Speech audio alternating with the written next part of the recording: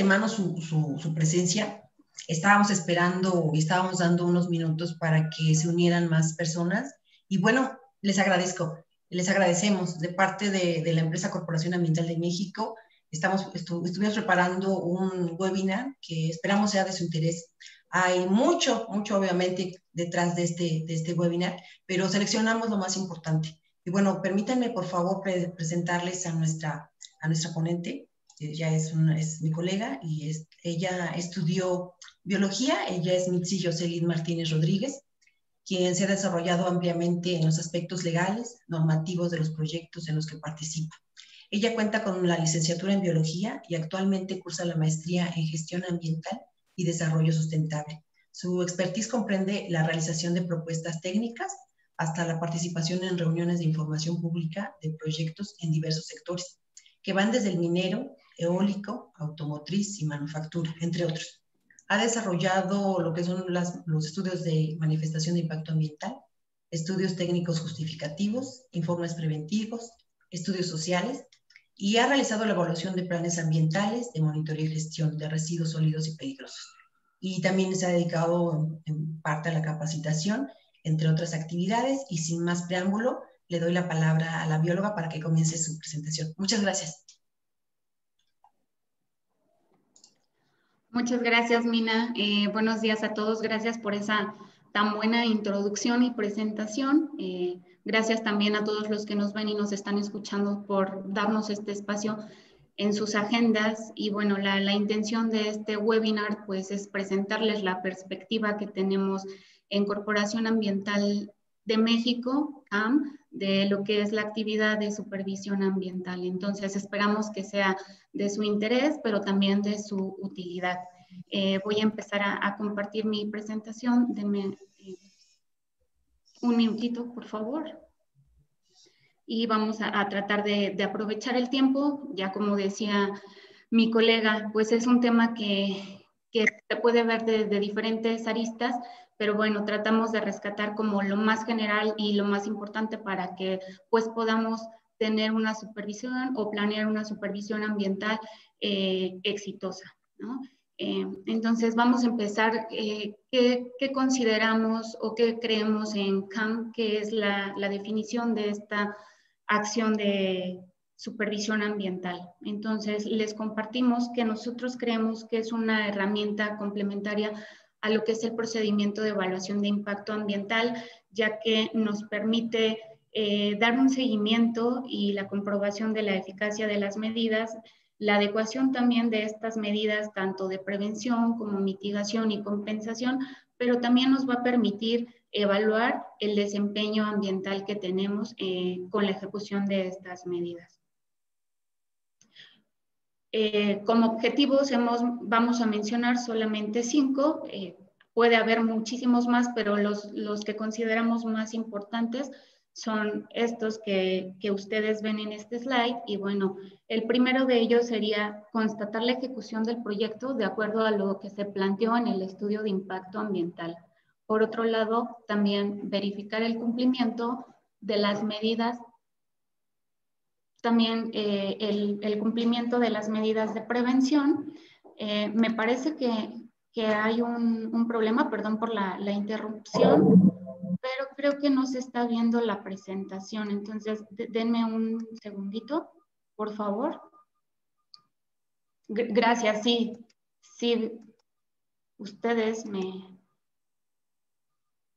me, indican cuando ya la, ya, la, ya la estén viendo. Vamos.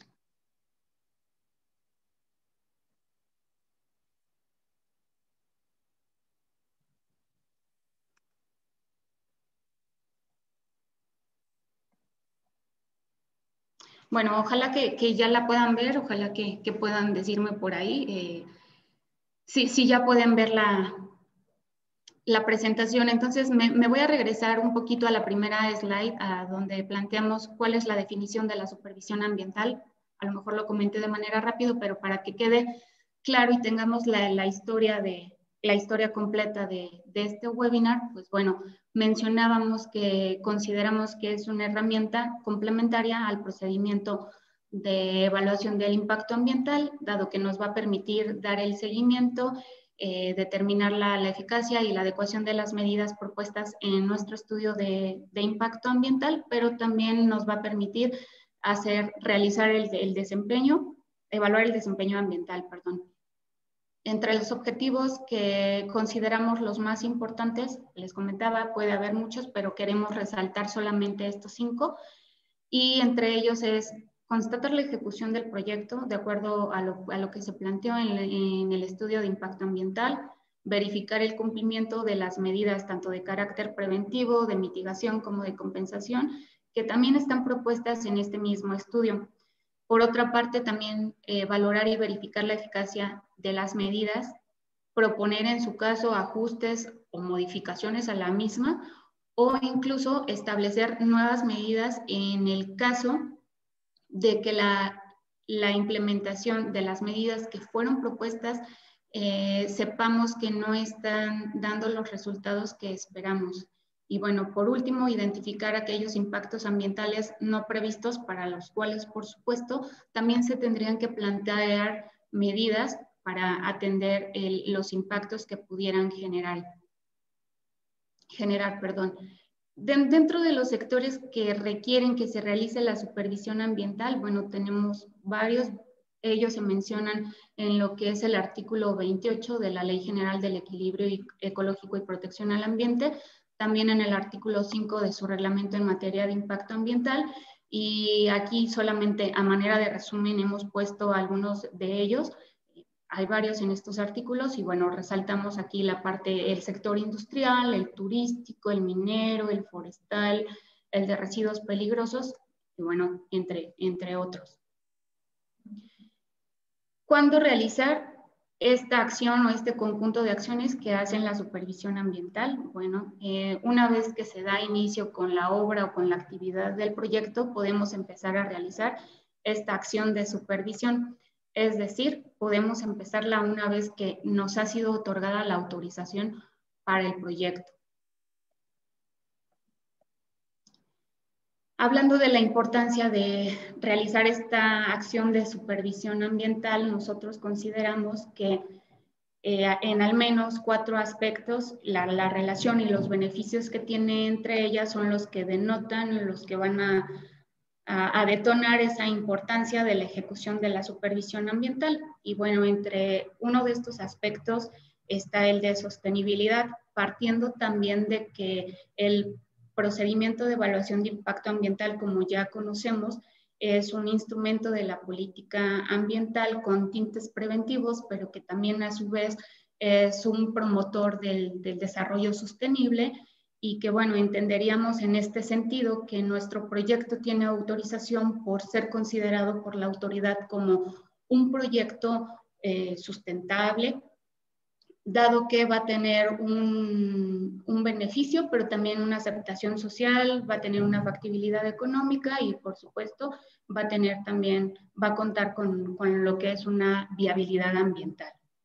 Por otro, por otro lado, también está el aspecto del cumplimiento al marco legal y regulatorio en materia de medio ambiente.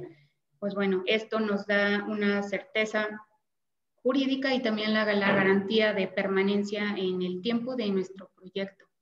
Para otro de los aspectos, y esto es para los corporativos, para las empresas que, que desarrollan sistemas de gestión, en este caso, bueno, sería la el de la ISO 14001 y toda su serie, bueno, aquí lo, importante es que al establecer objetivos, pues bueno, hay una garantía de que el cumplimiento de estas medidas propuestas en los estudios de impacto ambiental y en aquellas propuestas que pudieran ser adquiridas a través de la autorización como términos y condicionantes, tenemos la seguridad de que se va a cumplir, ¿no? A la par de esto, pues eh, el desarrollo y el estar certificado en diferentes procedimientos eh, dentro del sistema de gestión, pues bueno, creo que aportan o generan un, valor, un prestigio para la marca, para la empresa, eh, como, como un plus, ¿no?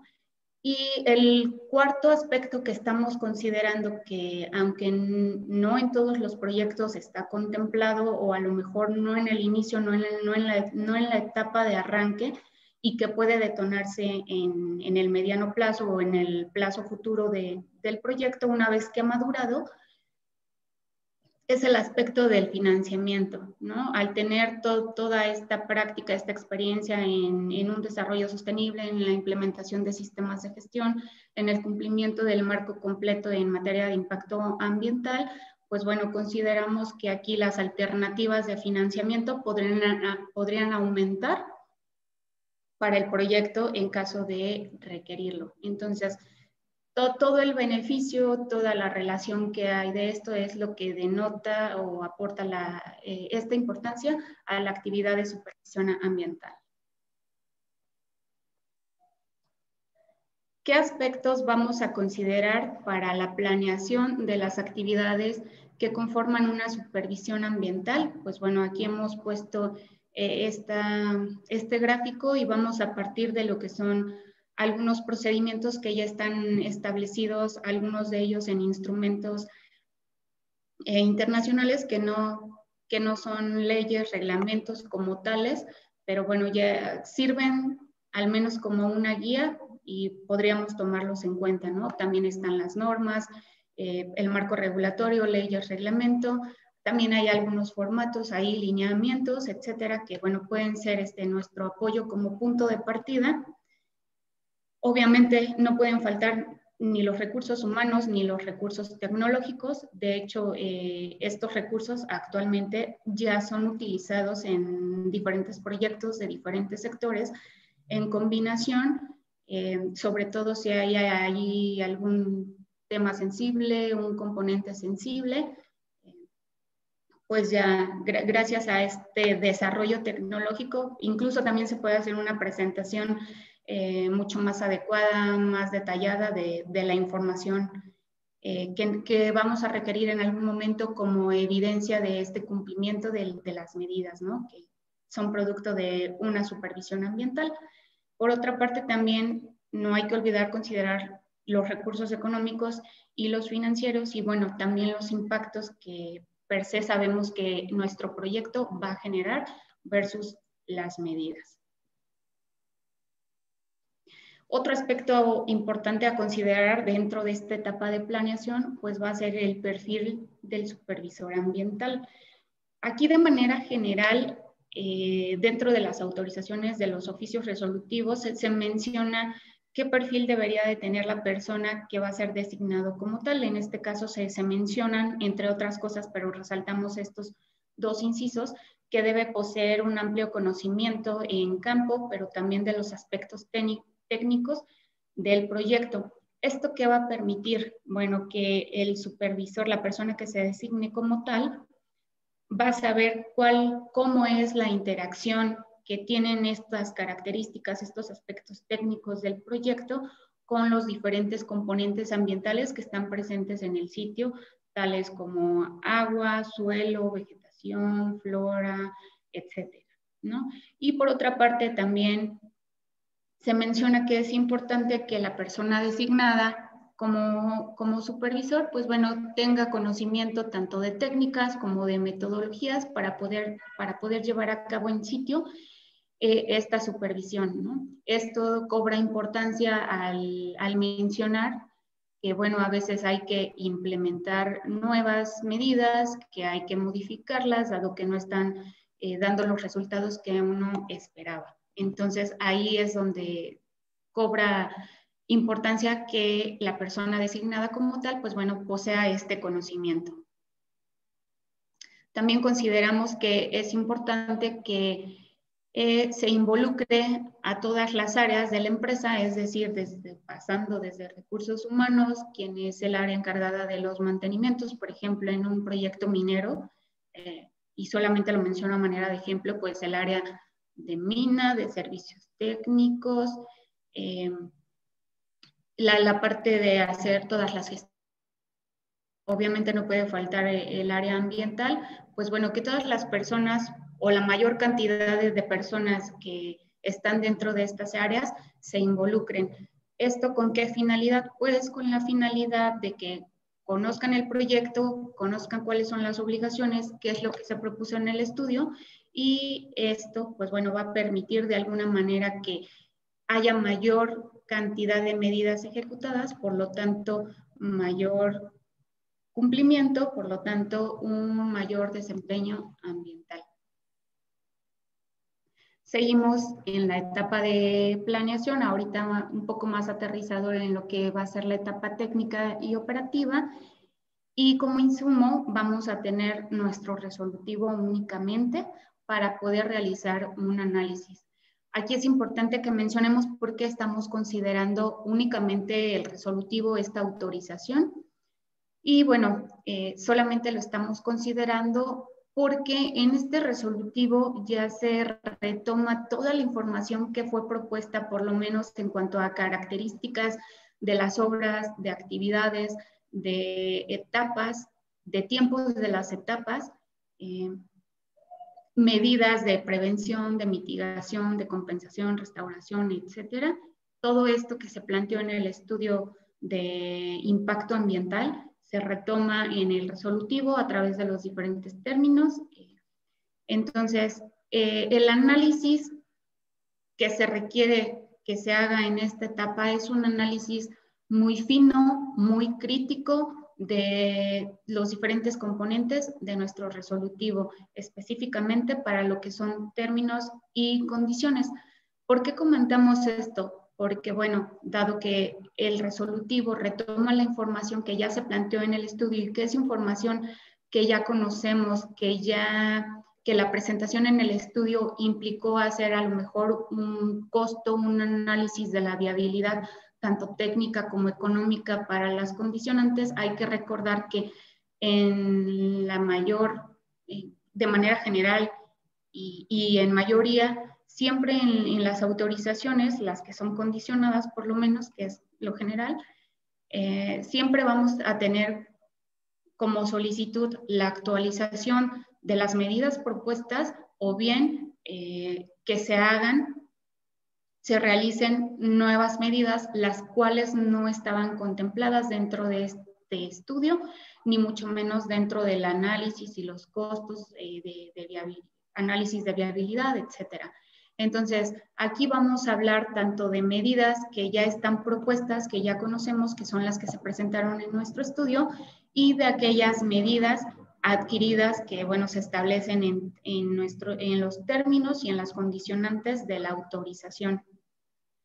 El análisis que hay que, hacer también es sobre las obras y las actividades, es decir, tenemos que tener seguridad y confirmar que la misma información que aparece en los términos respecto a las obras y actividades coincidan con la información que se planteó en nuestro estudio de impacto ambiental. Lo mismo pasa con tiempos y, la misma actividad de análisis crítica y fina la vamos a realizar sobre todo el marco regulatorio que ya conocemos que nos aplica, que tenemos que cumplir.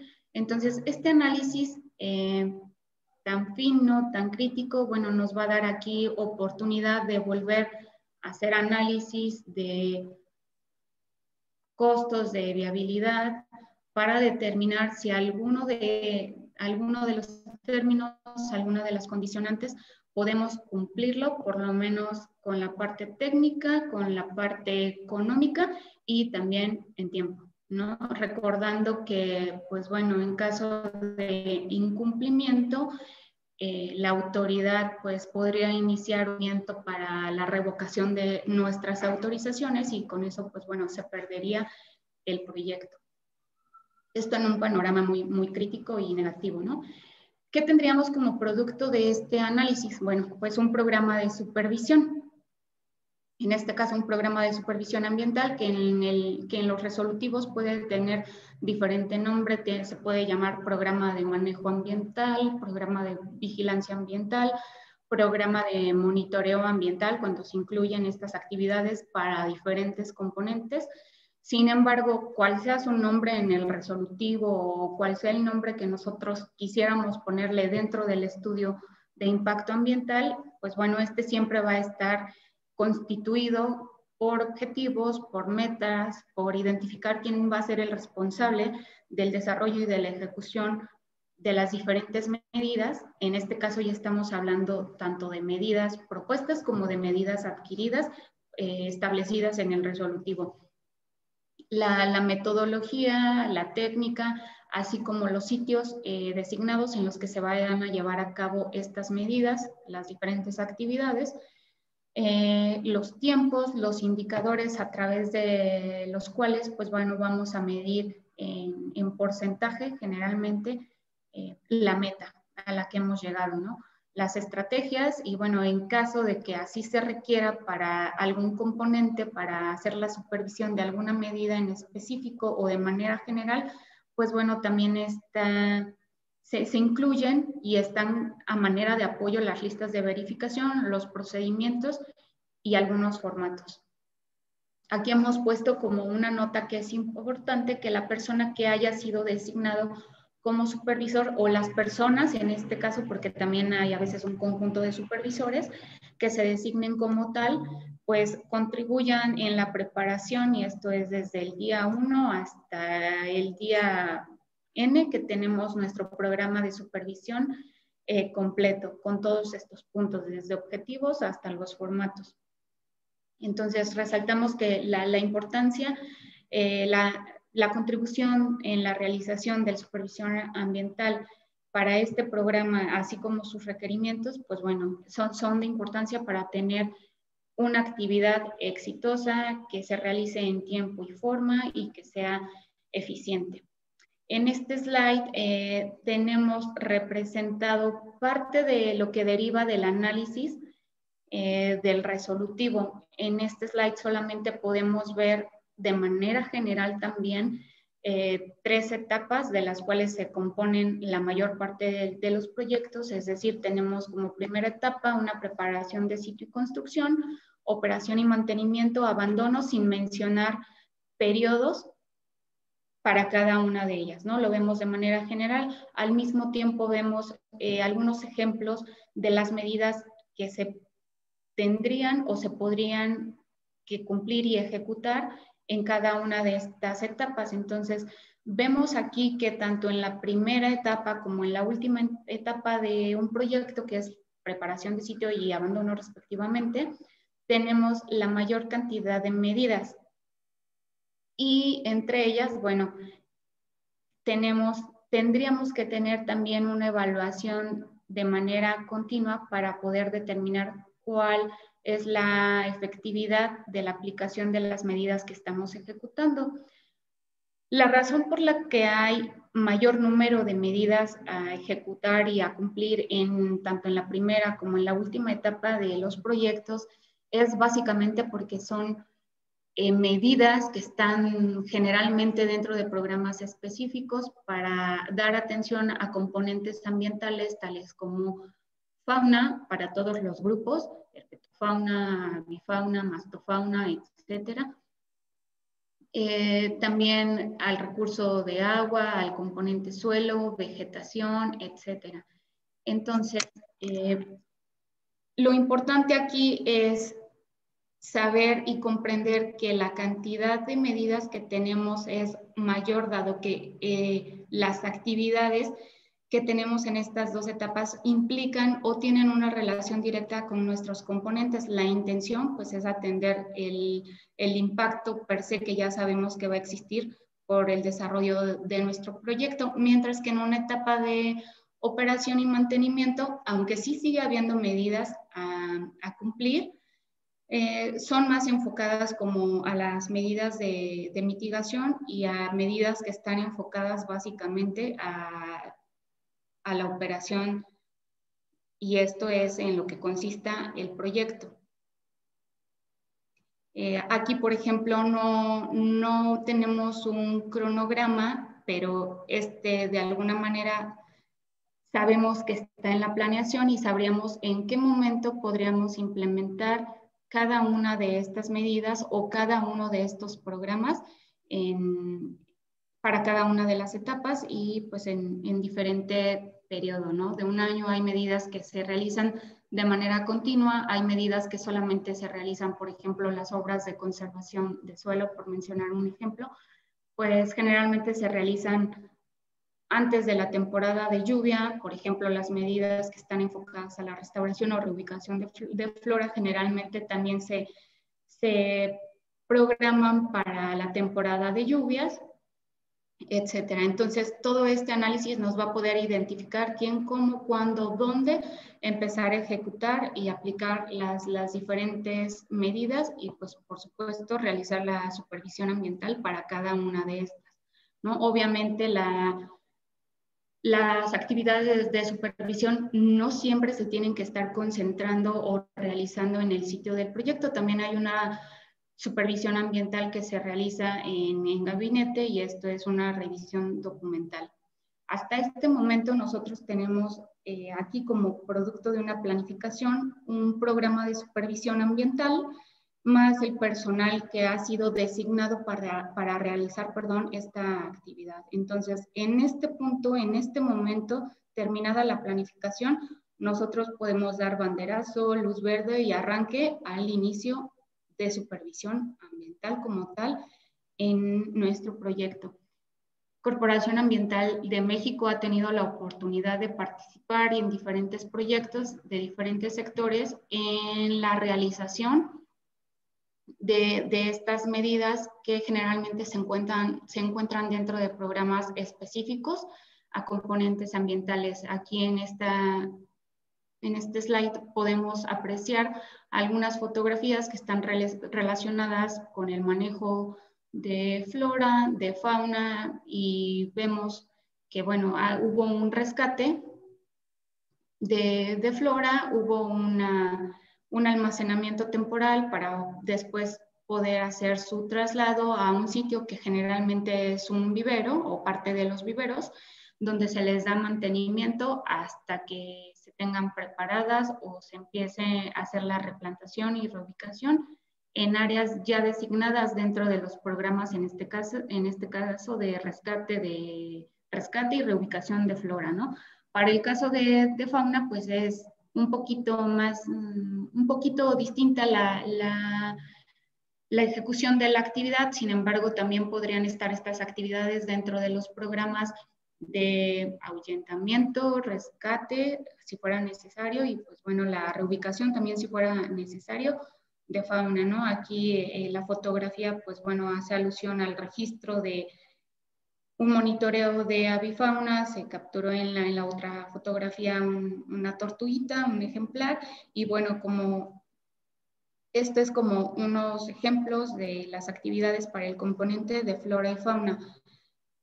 También hemos tenido la oportunidad de realizar la supervisión en, obras de construcción para otros programas específicos que también se supervisan y bueno, este estaría más enfocado, por ejemplo, a, a escorrentías, al manejo de agua, y pues aquí tenemos algunas obras justo para, para el manejo de agua, algunos drenes.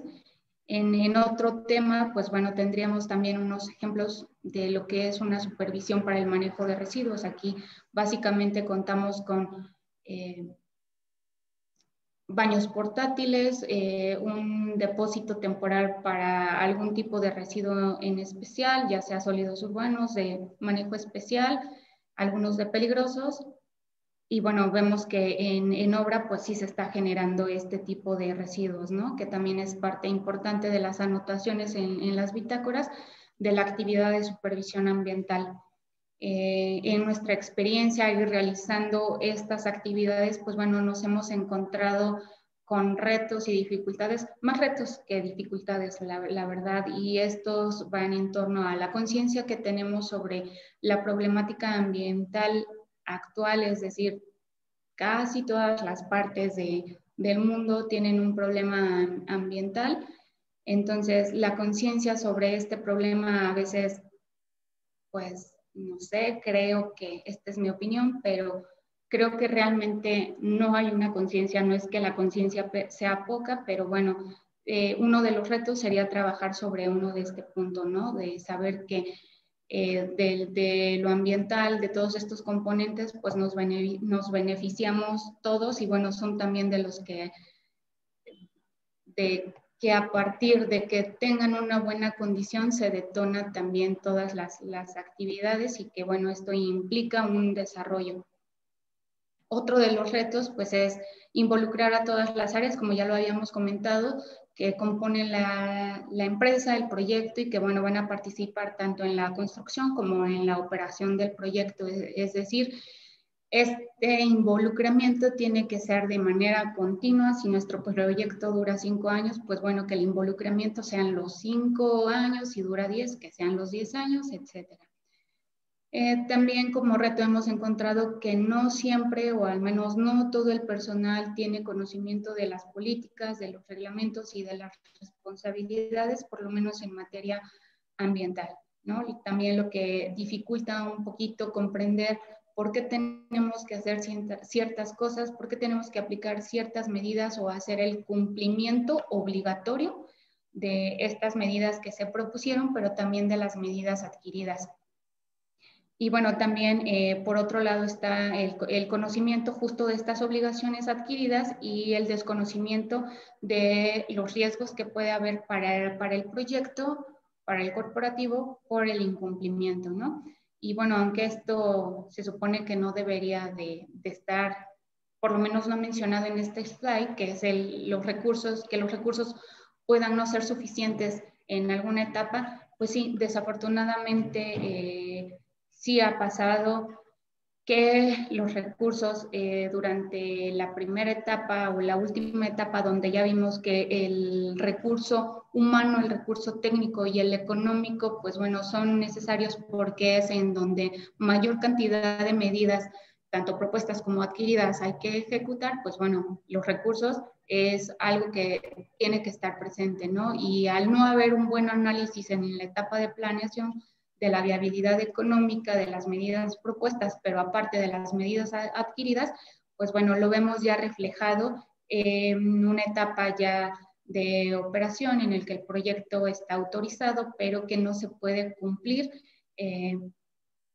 como, como lo mencionamos, como lo, como lo propusimos, perdón, y bueno, entonces aquí estaríamos eh, dándonos cuenta que la inversión de nuestro proyecto pues no es responsable ni es sostenible. Eh, algunas fotografías también de, de, de, estos retos, de estas dificultades, es que, eh, pues bueno, aún con la implementación de las medidas no siempre salen como, como uno quiere o como uno lo espera y eso lo mencionamos al inicio de esta charla, donde, bueno, a veces no funcionan, no sabemos siempre las razones del por qué no están funcionando, no tenemos los resultados esperados, pero bueno, es una oportunidad para hacer esa modificación, esa nueva eh, sugerencia para proponer una nueva medida.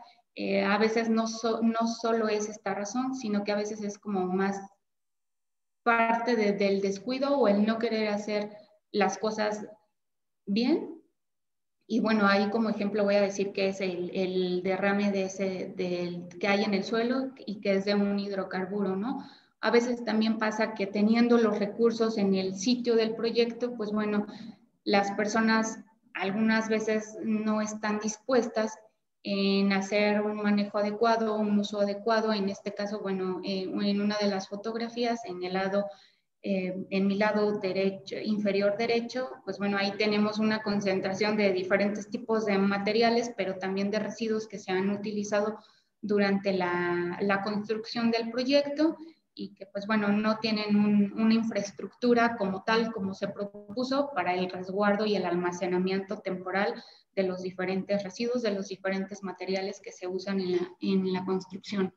Por otro lado, también pues bueno, aquí vemos que eh, no siempre está ese buen manejo o el manejo integral que se propone en los programas y que, bueno, son, son situaciones, son incidentes a los que se tiene que supervisar, que dar seguimiento hasta que hagamos entrar en, conciencia y que puedan ejecutar eh, una medida de manera correcta, tal como se propuso. De aquí también la importancia de que conozcan cómo se propusieron las cosas, en qué tiempo, de qué forma, ¿no? No necesariamente es que tenga que estar el supervisor en sitio eh, de 8 a 8, de 10 a 10, para que las cosas o las medidas propuestas y adquiridas se, tengan que ejecutar en tiempo y forma y de la manera eh, correcta. Entonces, hasta aquí podemos decir que, pues bueno, el procedimiento, el mecanismo, el conjunto de actividades que son o denominamos supervisión ambiental, va a implicar eh, llevar a cabo revisiones continuas que van a permitir también adaptarlas a los, procesos, a los procesos de mejora continua que por supuesto involucran una planificación, una ejecución y nuevamente una comprobación que nos va a permitir eh, saber cuál ha sido o cuál es nuestro desempeño ambiental. Entonces, ya una vez que hemos planeado, que sabemos cuál es la importancia del involucramiento de las personas para el cumplimiento de las propuestas adquiridas y propuestas, pero también cuál es la, importancia desde el aspecto legal, desde el aspecto sostenible, desde el aspecto del financiamiento. Eh, sabemos ya cuál es la importancia de ejecutar estas actividades de supervisión ambiental y que bueno, ¿qué vamos a tener como resultado después de la planeación y, la implementación, como lo acabamos de mencionar? Pues bueno, es un montón de información, un montón de información que sirve de evidencia, como fotografías, eh, los registros, las bitácoras, em, facturas, manifiestos de los residuos peligrosos, Em, recibos de, del agua de plantas residuales, etcétera, y que bueno, también como actividad vamos a tener que realizar un análisis para los indicadores que se propusieron para cada uno de estos componentes, para cada una de estas medidas y así poder establecer el porcentaje de la meta que se alcanzó. Nuevamente, hasta este punto aquí vamos a poder comprobar que Primero, la inversión del proyecto pues es sostenible y es responsable, que realmente nuestro proyecto es un proyecto sostenible también y saber nuestro desempeño ambiental durante algún tiempo y cómo lo podemos mejorar. Como informe de toda esta evidencia, de todo este análisis, hasta este momento podría estar, podríamos estar conformando un informe de supervisión con una presentación de un nivel a detalle que de primera mano a, nosotros como ejecutores, como responsables de esta supervisión ambiental, nos van a poder, eh, nos permiten determinar este desempeño ambiental, eh, identificar qué es lo que se hizo, lo que no se hizo, qué es lo que se puede cambiar, pero también tomando en cuenta de que al comienzo de la presentación mencionábamos que la supervisión ambiental es una herramienta complementaria al, procedimiento de, impacto ambiental, pues bueno, aquí les damos nuevamente a la, a la autoridad la oportunidad de evaluar este desempeño, de evaluar nuestra responsabilidad hacia el medio ambiente y obviamente continuar con la garantía eh, de que nuestro proyecto va a permanecer en el tiempo y pues también de que a través de esto estamos cumpliendo con el marco regulatorio y legal completo en materia de medio ambiente.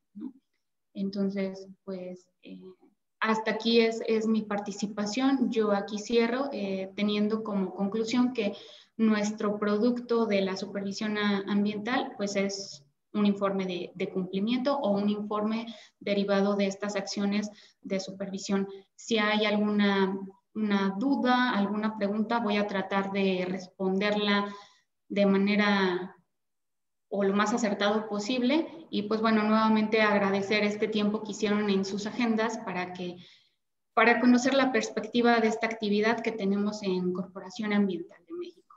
Entonces, pues bueno, los, los escucho Em, o los leo. Gracias. Muchas gracias a ti, Mitzi. Este, realmente eh, la, explicación es, es, bastante, bastante amplia, bastante interesante. Hay, hay, tenemos nada más tres preguntas. Hay una eh, que nos hacen y nos preguntan, ¿qué tratamiento se debe dar a la fauna nociva? Ah ¿Qué tratamiento se debe de dar a la fauna nociva? Pues, híjole, es una, eh, es una buena pregunta. En algunos proyectos y en experiencia hemos, la autoridad en, su mismo resolutivo ha, propuesto medidas de, para, para el tratamiento de la fauna nociva, pero yo pienso que estando, por ejemplo, en un área no urbana, la fauna no se puede considerar nociva, ¿no? La, fauna va a estar presente de manera natural en estos sitios. Entonces, no sería un tratamiento directo sobre la fauna nociva, sino que sería un tratamiento o, o ejecutar acciones que eviten la concentración de esta fauna que nosotros podemos denominar fauna nociva, ¿no? Y uno de los ejemplos eh, es, por ejemplo, los proyectos que cuentan con servicios de comedor en sitio. Eh, generalmente es donde tenemos esta situación, ¿no? De todo el desperdicio que sale de, los comedores, pues bueno, se concentran mapaches, ratas, ardillas, eh, además pero bueno, el tratamiento no sería directo sobre la fauna, porque bueno, eh, recuerden que, que todos los proyectos y todas las medidas estarían bajo un enfoque responsivo y sostenible y bueno, tener un tratamiento como directo sobre la fauna, pues no estaríamos hablando o no se vería bien en considerando que todas las medidas están dirigidas tanto a protección como a conservación de toda la fauna posible que pudiera estar presente en los sitios de nuestro proyecto. Entonces, más bien creo que las medidas no serían dirigidas de manera directa, repito nuevamente, hacia la fauna, sino buscar alternativas de cómo hacer el manejo ah, o medidas para nuestras diferentes actividades de los proyectos. Bien, muchas gracias, Mitzi. Muchas gracias. Tenemos otra pregunta. Nos dicen, en el ámbito de la sostenibilidad de los proyectos, ¿Existe algún aspecto de evaluación de las medidas de involucramiento de las comunidades en las medidas de cumplimiento ambiental? Eh, sí, yo creo que sí puede existir el involucramiento, sin embargo, creo que quien da la pauta, pues es la misma empresa, ¿no? Em, se supone que al, al, tener este enfoque sostenible en nuestro proyecto, contempla la esfera social, es decir, que pues bueno, por, esta parte eh, hay una, buena aceptación y también hay un, beneficio, entonces yo pensaría, yo pensaría que el involucramiento es bueno, ¿no?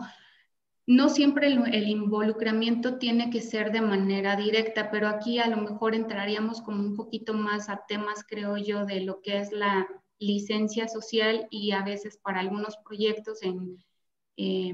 se pudiera considerar que, bueno, teniendo esta licencia social que no es tangible, no es como, vaya a ver, no, no es tangible, no es un documento, más bien es, está basada como en esta percepción que puede tener justamente la, la, población de alguna localidad o de las localidades que pudieran estar cercanas a los proyectos, pues bueno, creo que más bien iría por ahí, ¿no? Eh, desde la aceptación y el involucramiento de las comunidades, de las personas, creo que, su involucramiento, valga la redundancia, creo que sería también eh, importante y muy benéfico para que lo pueda presumir la, empresa, ¿no? Hay muchos proyectos donde ya hay, hay involucramiento, muchos corporativos incluso donde ya hacen el involucramiento de manera directa y no tan directa en este cumplimiento de las medidas, eh, tanto propuestas como adquiridas. Pero bueno, también creo por otra parte que esto va a depender de las características, de la actividad, de la relación que se tenga también con, con las personas, ¿no? Espero haber respondido a la pregunta y si no, pues adelante. La, pregunta. Gracias. ¿Cuál es la frecuencia de presentación de los informes de supervisión ambiental? ¿Cuál es la que, perdón? Es la frecuencia de, los, de la presentación de los informes de supervisión ambiental. Ya, mm, bueno, pues la, la, frecuencia pues puede variar, hay desde trimestrales, por ejemplo, que son para eh, los cambios de usos de, de, suelo, pueden ser semestrales y pues los informes de cumplimiento anual, ¿no? Que pudiera haber una, una diferencia entre estos. Eh, para los primeros que mencioné, que son trimestrales o los que pueden ser semestrales, son informes de cumplimiento que pueden ser específicos para alguna condicionante, algún término o alguna medida. Por ejemplo, el, de cambio de uso de suelo generalmente se reporta trimestralmente, ¿no? Pero puede haber, por ejemplo, eh, en el caso de, agua o en el caso de aire, eh, que pueden ser hasta cuatro muestreos durante el año y el informe, pues bueno, sería una vez que tú tienes tus, tus resultados del primer, segundo y tercer monitoreo, es cuando los entregas, ¿no? Y pues el informe anual, que es el producto eh, de nuestra supervisión ambiental, este es la frecuencia con la que se entrega, es anual y este informe tiene la característica de presentar evidencia y cumplimiento y obviamente la, evaluación de sus indicadores, eh, además de si hubo incidentes, si hubo cambios, la razón de por qué hubo cambios. Ah, se, se entrega a la autoridad de manera anual, pero con la información de todas las condicionantes y de todas las medidas propuestas. Tenemos otra pregunta. Mm, el estudio, eh, ¿cuál consideras que sea el mayor problema por parte de los promoventes para realizar la supervisión de manera continua? En general no se toma en consideración hasta la primer visita de la autoridad. Pues nuevamente, si retomamos el enfoque responsivo y sostenible, no tendrían por qué esperar a, una visita técnica o a una auditoría para poder empezar a realizar la actividad, ¿no? Como tal, la, supervisión ambiental debería de empezar en el día uno eh, de, de inicio de tu proyecto, ¿no? Es decir, bueno, vamos a empezar con una reunión, si, si se empieza con esa reunión el primer día, pues bueno, hay que estar ahí presentes los, los que son designados como supervisores ambientales. Ese día es el día uno, van en paralelo, entonces, pues si hubo algo que supervisar o, atender o algún incidente, pues bueno, se considera y si no, eh, pues no, no hay información, ¿no? Pero bueno, en teoría, lo recomendable es no esperar a que haya una visita por parte de la autoridad, porque recuerden, nuestro resolutivo eh, sí nos obliga, también nos informa, nos menciona que, bueno, una vez recibida esta autoridad y una vez que se empiezan las actividades para la primera etapa, pues bueno, nosotros ya tenemos ahí medidas, eh, propuestas, que, que, fue lo que nosotros propusimos en el estudio. Entonces, eso no es que no, eso no lo adquirimos, la autoridad no nos está obligando, entonces, eso lo tendríamos que hacer porque fue la voluntad del interesado, la voluntad del promovente en realizar esas medidas desde el día uno. En este caso, puede, puede haber algún proyecto, no conozco ninguno, pero eh, en, ese, en el escenario que les voy a comentar, pudiera ser que algún promovente en su estudio de impacto ambiental no haya propuesto medidas durante su primera etapa, por lo menos durante los primeros seis meses, ¿no? Entonces, esa sería la única manera, creo yo, de que el promovente no estuviera obligado a realizar medidas durante los primeros seis meses, ¿no? Pero si a partir del mes siete, en su mismo estudio, él propuso que iba a empezar a hacer, por ejemplo, riegos, que iba a poner eh, eh, letreros para el control de la velocidad y que iba a ser un rescate de fauna y también de flora, pues bueno, a partir de ese momento él tendría que empezar a hacerlo teniendo o no una, una visita por parte de la autoridad, porque él lo propuso, de él nació, él hizo ese compromiso, ¿no? que es diferente a las medidas que se adquieren a través de los términos y condicionantes cuando pues, tenemos nuestra autorización. Bien, muchas gracias, Mitzi. Em, hay una pregunta relacionada, creo que lo, mencionaste, pero de, cualquier forma, vuelven a preguntar. Eh, ¿Cuáles serían los riesgos del no cumplimiento cabal de las condicionantes? ¿Cuáles serían los riesgos del incumplimiento? Bueno, como parte de los, de los riesgos, esto puede ser desde una sanción eh, administrativa, una sanción económica, eh, una clausura temporal, pero también una clausura definitiva, ¿no? Eh, entonces, esto estaría contemplado dentro de los riesgos. El mismo resolutivo generalmente viene como parte de, los últimos términos donde se menciona, no con las palabras que les voy a decir, pero sí está mencionado, eh, donde se menciona que la autoridad puede iniciar los procedimientos para la revocación de la autorización del proyecto en caso de incumplimiento de las condicionantes y de los términos que se establecen en la resolución, ¿no? recordemos que dentro de estos términos y de estas condicionantes ya está la información que nosotros propusimos dentro de nuestro estudio de impacto ambiental. Entonces, Mm, no podría, no, no me voy a aventurar a decir que eh, si no cumples, por ejemplo, con el monitoreo, el, el, hecho de incumplimiento va a representar solamente una sanción administrativa y no económica, ¿no? Esto es a consideración y de la autoridad, obviamente, y bueno, eh, si, la, si la misma autoridad no tiene eh, como esta información que pueda evaluar en algún momento, pues bueno, estaríamos pensando así que, que lo peor, el, peor escenario que pudiera pasar es que pues clausuren temporalmente eh, o que te clausuren ya de manera definitiva.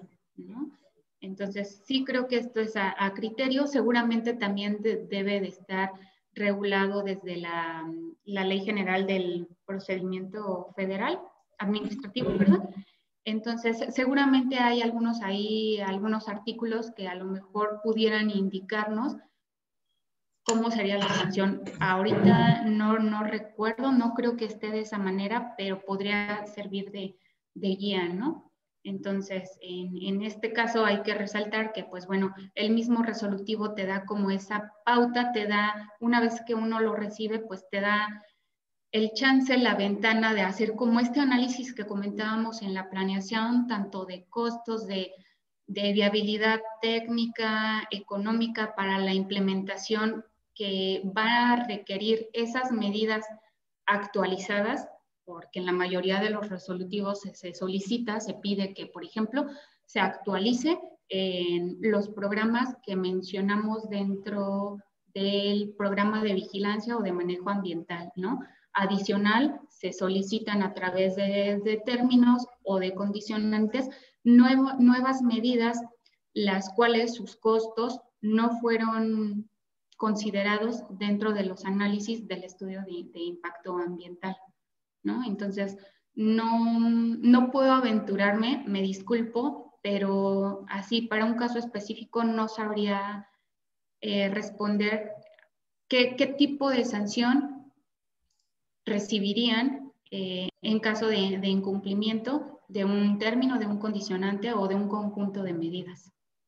Sí, claro, es parte del proceso de, la autoridad y del, análisis específico que tenga acerca del mismo proceso y de las actividades que están relacionadas con este, este, con este sector, ¿no? Hay otra, hay otra pregunta, Mitzi. Eh, ¿es, posible, ¿Es posible solicitar el cambio de condicionantes ¿Cómo se justificaría y cuánto tiempo tarda este proceso? Eh, sí, sí es posible. En nuestra experiencia nos hemos, eh, a lo mejor no que, no, no que la cambien, eh, no, no que cambien la, la, condicionante, ¿no? En nuestra experiencia lo que hemos hecho es que, bueno, en, en algunos de los proyectos que tuvimos oportunidad de participar, hubo una medida que se propuso que era muy ambiciosa, requería de muchos especialistas, eh, se tenían todos los elementos, era viable económicamente de, realizarla en ese momento, pero bueno, por cuestiones de decisión de los ejidos y al no tener una, una tenencia de la tierra, de ejidal, obviamente, no se pudo concretar esto durante los dos primeros años del proyecto, donde se supone que teníamos que entregar dentro del informe de cumplimiento anual el avance de esta medida que el promovente propuso en su estudio de impacto ambiental, ¿no?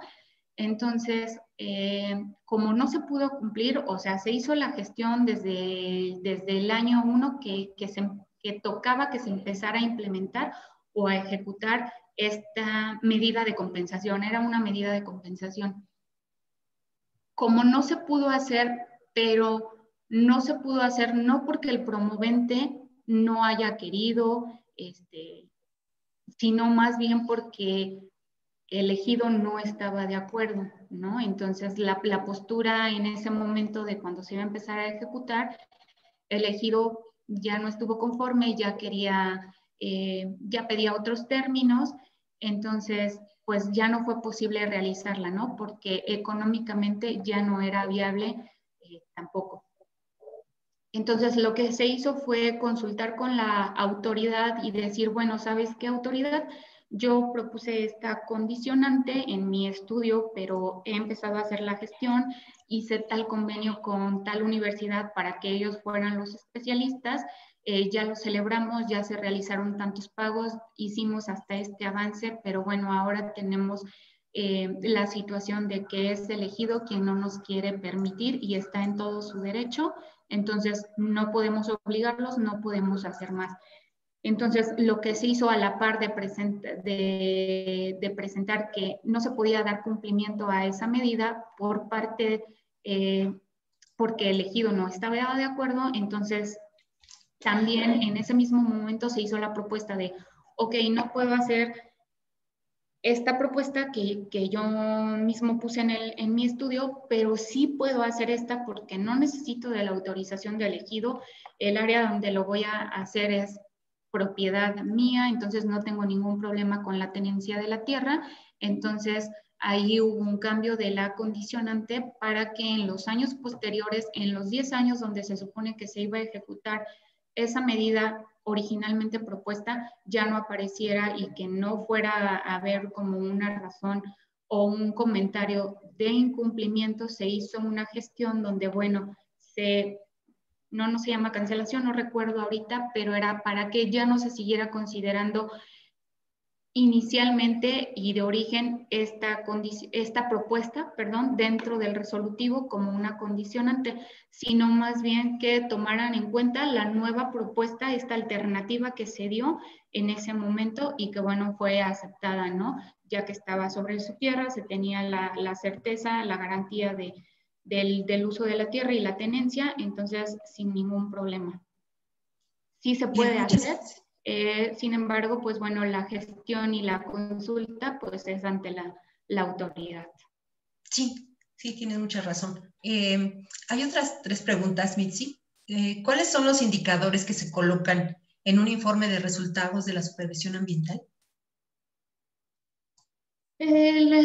Bueno, para fortuna de, los interesados y de los promoventes, pues bueno, hay algunas listas, de, algunos indicadores ya, publicados en algunas guías para la conservación, por ejemplo, de la, de la biodiversidad, que podemos tomar como referencia ya que está eh, establecido cómo se va a, determinar el porcentaje de la meta. Eh, esto no es algo ya impuesto por parte de la Secretaría, entonces, por ejemplo, en, por, mencionar algún ejemplo, para lo de reforestación, a veces estos indicadores son eh, sobre ejemplares que sobreviven por superficie, ¿no? Por hectárea. Entonces, ese sería tu indicador. Si tú dijiste que, bueno, ibas a plantar mil plantas por hectárea y sobreviven 900, pues bueno, tienes un buen porcentaje de la meta cumplida y ese sería tu indicador, ¿no? No hay algo establecido o no hay un indicador, digamos, o ya sí establecido por parte de, en este caso, de, de Semarnat, que digas, este no lo puedes mover, este, este es el que se tiene que tomar en cuenta.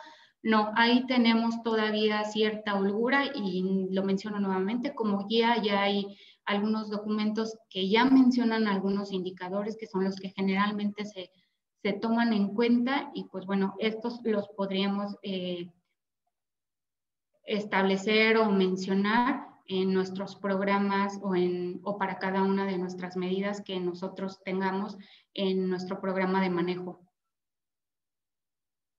Bien. Eh, nos hacen otra pregunta, Mitzi. ¿Qué criterios toma en cuenta la autoridad para implementar las sanciones por incumplimiento? ¿Qué, qué, razones, qué, perdón? ¿Qué criterios toma en cuenta la autoridad para implementar sanciones por incumplimiento? ¿Qué criterios toma en cuenta la autoridad para implementar eh, sanciones? Eh, yo creo que los criterios que toman son los, términos y las condicionantes que, que tienes en, tu resolución, en tu autorización, ¿no? Básicamente cuando tú recibes una, visita en, sitio, eh, la, la, visita se hace respecto a lo que tú tienes, ya sea en sitio, en campo de obra o ya sea una revisión documental de esto, ¿no? Lo cual ambas cosas tienen que corresponder. Entonces, si partiendo tu, tu guía, nuestra guía siempre va a ser el resolutivo. ¿Qué tengo autorizado? ¿Hasta cuándo tengo autorizado? ¿Cuántas obras tengo autorizadas? ¿Qué superficies tengo autorizadas? ¿Cuándo tengo que implementar, por ejemplo, la reforestación? ¿Cuándo tengo que entregar un programa de restauración? Etcétera siempre nuestra guía, nuestro hilo conductor eh, va a ser esta autorización, ¿no? Tu resolutivo que eh, pues retoma toda esta información del estudio, te da temporalidad, eh, superficies autorizadas, en qué materia, aquí es importante, ¿no? A veces cuando se solicita autorización tanto en materia de impacto ambiental como autorización de cambio de uso de suelo en lo forestal. Eh, no siempre las áreas corresponden eh, en, superficie a lo que está autorizado, ¿no? Entonces aquí es importante hacer esa diferencia que también tendremos que tener eh, un análisis y mucho ojo en, en, esto, ¿no? Sin embargo, bueno, me, regreso un poco, nuestro resolutivo va a ser el, el, hilo que nos va a conducir para saber qué criterios puede tomar en consideración para, por ejemplo, para continuar con nuestra autorización, que tengamos un visto bueno, etcétera, pero también los, los mismos términos, las mismas condicionantes el incumplimiento de estas, yo creo que son los que empiezan a ser como un, mito, un, foco rojo de cuánto he cumplido, cómo lo he cumplido, este, para que la autoridad pueda tomar una decisión de si lo tomo como incumplimiento y esto puede derivar en, un, una sanción de diferente tipo, administrativo, económico o, o una clausura que puede ir, como ya lo comentamos, desde lo temporal o este, lo definitivo, ¿no? Digo, también puede, puede haber que aún cumpliendo todo tu conjunto de medidas, pero que en cantidad y en calidad no lo estás cumpliendo conforme a lo que se establece, a lo que se estableció en el estudio de impacto o a lo que te, a lo que te solicita la autoridad en tu resolutivo a través de las condicionantes y términos, pues bueno, tiene toda la de decirte, ¿sabes qué? Voy a poner estas medidas porque las que estás haciendo o como las estás haciendo no están dando los resultados esperados. Entonces, eh, pues creo que es parte de, de, de, la evaluación también de los criterios que tengan los evaluadores, los inspectores, para poder determinar o para tomar esta decisión, ¿no? Sin embargo, aquí también cabe resaltar, Mina, que bueno, es tan importante realizar esta supervisión en tiempo, en tiempo y forma y hacer el análisis de viabilidad económica y técnica para que en alguna etapa del proyecto justamente no tengamos como estas preguntas, estas dudas de, en cuanto a certeza eh, jurídica, en cuanto a permanencia del proyecto ¿no? sino hacer este análisis, tomarnos eh, ese tiempo en la planeación para hacer el análisis y decir, bueno, pues eh, una vez que me entregaron mi resolutivo, tengo esa ventana de tiempo para analizarlo crítica y de manera muy fina, donde puedes también, se vale porque también ha pasado donde te piden, por ejemplo, que hagas un monitoreo de 10 años de aves para mariposa monarca, pero también para murciélagos y eh, otras cosas donde dices, bueno, o sea, o, le invierto al proyecto o le invierto nada más a las medidas, ¿no? Entonces, nuevamente aquí tú tienes oportunidad de decir, eh, durante tu, tu ejecución del análisis o elaboración del análisis, bueno, pues sí, sí tengo oportunidad de hacer esto durante algún tiempo, a lo mejor no son los cinco años, pero sí durante tres años, o como alternativa llevo mi propuesta y hago esto, ¿no? El chiste es que no quedarnos sin hacer nada, no, no encontrar como una justificación y mantener ese enfoque, ¿no? Ese enfoque responsivo eh, a partir del cual, pues bueno, se tendrían que empezar a implementar las medidas propuestas y las adquiridas y no esperarnos a una supervisión ambiental, ¿no? Porque también, siendo honestos, sabemos que pues bueno, desafortunadamente la, la carga o el personal que está asignado para realizar estas visitas y estas verificaciones, o sea, está completamente rebasado, ¿no? Entonces, eh, también creo que esto lo podemos usar como, como justificación, si, bueno, realmente tenemos nuestra camiseta de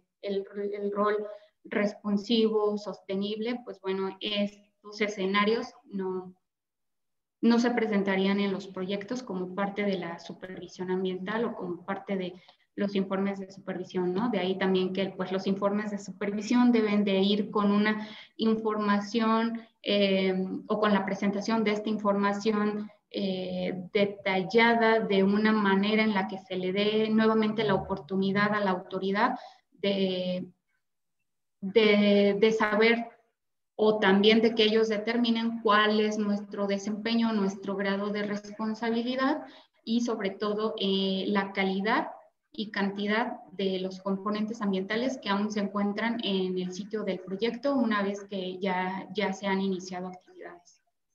Bien. Por último, tenemos una pregunta interesante. Eh, ¿Qué herramientas o metodología existen en México para la supervisión ambiental? ¿Qué metodologías existen? Pues desafortunadamente yo no conozco ninguna. Em, antes de, tener esta charla me dediqué a buscar un rato, pero eh, no quiero pensar que mi búsqueda no fue lo suficientemente buena para no encontrar, pero no encontré una, una guía, por ejemplo, que fuera emitida por Semarnat, ¿no? No la encontré. Em, entonces podría decir... Que no la hay, incluso desde el mismo reglamento, desde la misma ley de la, de la LEGEPA y su reglamento en materia ambiental, estas figuras no existen de la supervisión ambiental, de la actividad eh, ambiental, de los, de los planes de manejo. No, todas estas figuras, por decirlo así, eh, ya recobran como importancia o se hacen presentes en, en el oficio, en el resolutivo, en la autorización, ¿no? A diferencia de, otros países como por ejemplo es Perú, Lima, este, Perú, perdón, este, España, Chile, eh, que son los que recuerdo así ahorita, así con, con seguridad, sí tienen guías e incluso desde su marco legal, estas figuras sí existen, ¿no? Por ejemplo, en lo que llaman sus reales decretos y así, que, para nosotros pues sería como lo, lo, similar a nuestras leyes y nuestros reglamentos, ¿no? Aquí en México eh, estas figuras no existen, Sin embargo, también una vez que se hizo la revisión, les puedo compartir que afortunadamente el enfoque que tiene el, procedimiento de impacto ambiental va como súper apegado a lo que son eh, estos procedimientos, por ejemplo, de, del, convenio de biodiversidad, este, del BID, entre otros lineamientos que ya se han publicado eh, son muy buenos, la información es muy similar. Mi percepción es que la información que se presenta, en, por ejemplo, en estas guías como para la elaboración de la manifestación de impacto ambiental en sus diferentes sectores, es muy concreta, es muy resumida, a diferencia de, otros documentos que son muy detallados, mencionan particularidades, mencionan este, eh, quiénes serían los actores eh, de interés importantes, etcétera. Eh, pero una guía como tal, pues no, para México al menos no. Si, si es de su interés, pues bueno, podemos compartirles ahí el nombre de unas guías que en algún momento pudieran utilizar como tal, pues para considerar eh, algunos aspectos, alguna información en cuanto a, forma de, de informes, de medidas, de presentación pudieran utilizarnos y, pudieran tener este, una información, no una mayor cantidad de información, pero una información más completa, eh, con mayor este, análisis, etc. Nos falta todavía una pregunta, esperemos que no, no, este, no, no, sé.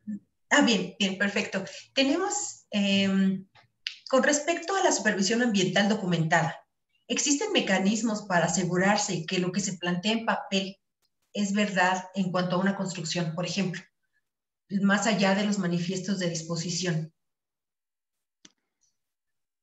Pues, pues muchas veces damos el beneficio de la, de la duda, ¿no? A menos que se haga como un análisis súper, súper detallado. Eh, y la verdad voy a hablar por, por, la experiencia que hemos tenido de trabajar con, con empresas que han sido súper transparentes con su información. Eh, pues sí, la verdad es que no hemos encontrado que hagan así como generalmente decimos chanchullo o trampa. No, la verdad es que en, en ese sentido yo sí he tenido una buena experiencia y pues bueno, también con las empresas que, que trabajamos, eh, me parece que de manera muy responsable han proporcionado esta información como evidencia y, todo este, coincide, ¿no? Tanto el registro de sus bitácoras con lo que están en los manifiestos, por ejemplo, con las descargas a plantas de tratamiento, con la cuota que cobra la planta de tratamiento, eh, con, con, con, con, sus convenios de, de trabajo, sus contratos. Entonces, todo coincide. A veces no hay forma como de tener la seguridad de, decir, no, pues sí coincide o si es esta empresa o si está autorizado, porque también hay, hay empresas que son muy, muy quisquillosas con su información y también están en, su posición, en todo su derecho de, resguardar su, información. Eh, y solamente te dan lo, lo mínimo, ¿no? cómo puedes, lo que puedes, con lo que puedes conformar, vaya, tu, tu informe o tu registro de evidencias, ¿no? Y, esto es solo bitácora, fotos, y entonces ya sobre tú eso haces el, análisis del indicador, ¿no? Pero bueno, yo creo que la Secretaría a todos les da la, la, ay, como, como mencioné hace rato, el beneficio de la duda. Entonces, pues bueno, se, se considera que eh, primero, el proyecto que se presenta es bajo este enfoque de sustentable, porque bueno, como también decíamos, en algún momento pues es parte, e, es un procedimiento de la, de la política ambiental con, fines o con tintes preventivos, lo que lo hace ser eh, un proyecto sustentable y considera pues esta, esta esfera ¿no? ambiental con esta viabilidad ambiental, es decir, que si vas a contaminar, eh, sabes que va a haber una dispersión de carga, eh, va a haber una, no, no, no va a haber un límite máximo que estés permisible que, que estés rebasando, etcétera. Entonces, pues creo que todo eso al final del día y al final del informe va sumando. Pues, muchas gracias. Creo que, no todas las preguntas. Eh, nada más hay una, hay una observación y que es muy justa, muy adecuada. Eh, en todo este tema, sobre todo la parte de las sanciones, no hay que olvidar eh, el tema de la ley federal de responsabilidad ambiental. Es sumamente importante. En este momento no es parte del, de la presentación. En su momento, si, si, si, tenemos la oportunidad, también estaremos compartiendo algo más sobre esta, sobre esta ley, pero en este caso que quiero agradecerle mucho a, a Mitzi porque realmente ha estado muy ocupada y nos dio esta, esta presentación y realmente pues toda su experiencia. Lo, lo, agradecemos mucho y también les agradecemos a todos ustedes el que han, hayan estado aquí con nosotros. Eh, queremos comentarles que lo que podamos nosotros apoyarles con seguridad, por favor háganlo y eh, les estaremos invitando en su caso a algún otro de los, de los eventos que tengamos a través de este medio. Muchas gracias, que tengan todos excelente día. Gracias. Gracias, Mina. Gracias a todos por su tiempo. Hasta luego.